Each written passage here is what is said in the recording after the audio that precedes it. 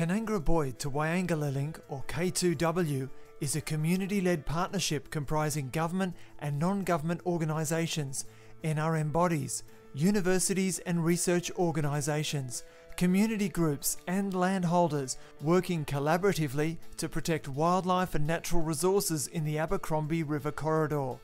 Our area from the Greater Blue Mountains to Wyangala Dam is a biologically rich landscape covering over 319,200 hectares, which supports a range of threatened species and ecological communities.